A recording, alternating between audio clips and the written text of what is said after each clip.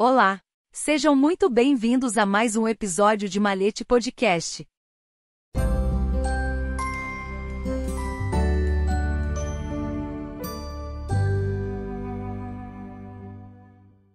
A atitude de vida de um maçom livre.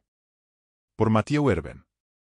Liberdade, igualdade, fraternidade. Três palavras características que podem descrever a maçonaria. A maçonaria assume que cada pessoa tem o direito de buscar a verdade de forma independente, lutar pela fraternidade universal e eliminar divisões entre as pessoas. Nobres ideais que estão escritos na declaração inicial e dos quais resulta a atitude de vida do maçom livre. Um maçom chega à loja para se tornar uma pessoa melhor. Não melhor que os outros, porque isso seria incompatível com os princípios da igualdade, mas sim para melhorar a si mesmo. Ele é um homem que segue sua vocação. Um homem cujos pensamentos, sentimentos e vontade estão em harmonia. Em harmonia consigo mesmo e com o seu entorno. Alguém que navega a todo vapor. Os maçons são pessoas comuns às quais nada do que é humano é estranho. Não é por acaso que conheça a si mesmo seja uma frase tão repetida. Hoje em dia deveríamos dizer: melhore o mundo e comece por si mesmo. Um maçom não impõe a sua opinião, mas compara-a com os outros. O limite habitualmente observado na maçonaria é a questão: os pensamentos do candidato são dogmáticos ou não? Todo maçom busca a verdade por conta própria. Alguém que pensa que sabe o que é melhor não tem nada a procurar na ordem.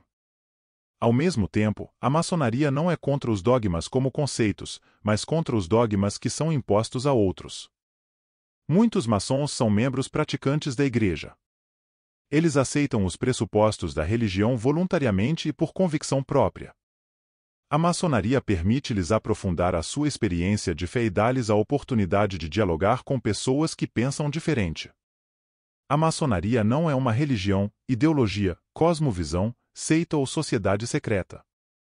A ordem maçônica é um movimento democrático cuja principal tarefa é aprofundar as opiniões dos seus membros no campo espiritual e moral. Ao mesmo tempo, assume a existência de uma realidade espiritual além da zona visível, a qual se refere como o grande arquiteto do universo. A ordem, evidentemente, não está sozinha nestas suposições. Muitos grupos diferentes visam a mesma coisa, mas a maçonaria se destaca de outras organizações com um método específico de trabalho, utilizando símbolos e rituais que representam simbolicamente o curso da vida humana. Os símbolos ajudam a transmitir pensamentos e sentimentos que muitas vezes são difíceis de transmitir em palavras. São capazes, onde as palavras não bastam, de agregar mais valor a objetos, sentimentos, ações e fenômenos. No nosso dia a dia, utilizamos inconscientemente inúmeros símbolos, cujo significado todos compreendem imediatamente: um ramo de flores, uma aliança de casamento, a bandeira nacional, uma cruz, um aperto de mão, etc. Para algumas pessoas, as flores frescas oferecidas não têm muito valor porque murcham rapidamente.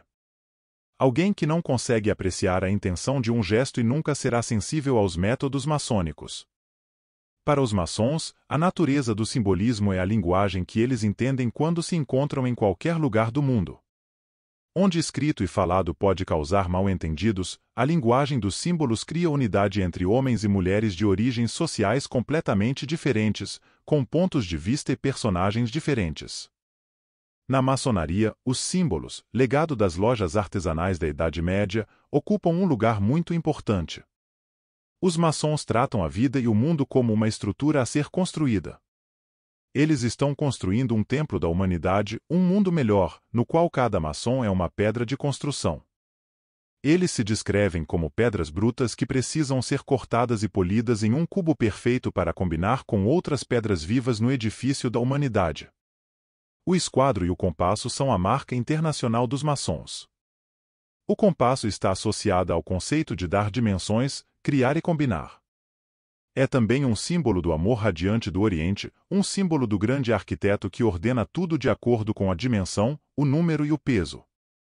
O esquadro com seus ângulos retos simboliza um homem que recebeu luz e sabe se colocar numa relação direta entre o próximo e o grande arquiteto. Outros símbolos, martelo, cinzel, espátula, nível, também têm função e significado próprios.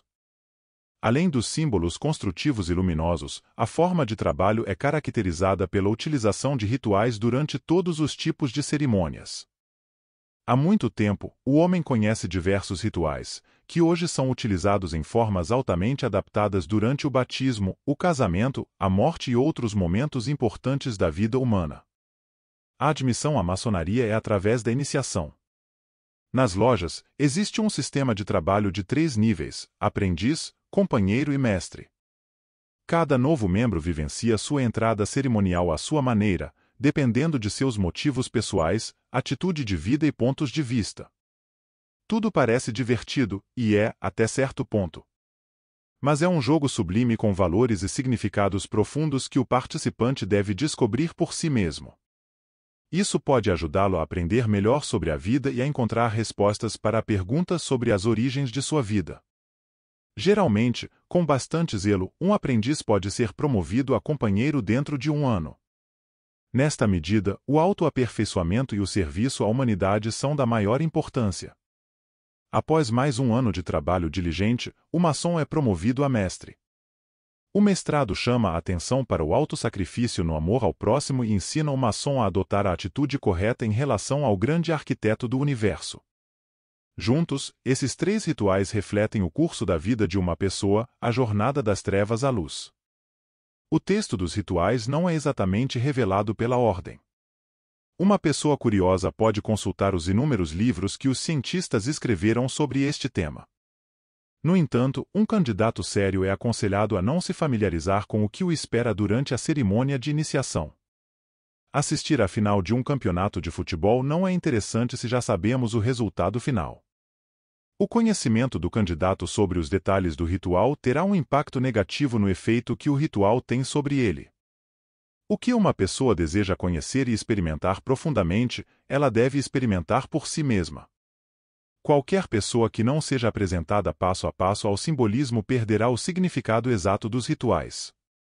Além disso, tudo deve ser uma experiência absolutamente nova para o candidato, figura central durante a cerimônia de iniciação.